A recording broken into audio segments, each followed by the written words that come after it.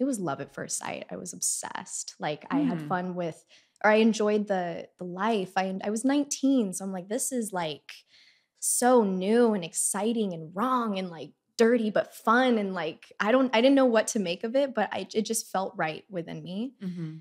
And so I just kept going and it just continued to flourish and I'm like, okay, this is exactly where I need to be. This I had to be triggered and emotionally affected by some dirty bartender who dated a star for me to get exactly where I need to be in life. I truly feel that. Like I think it was like a karmic destiny or something.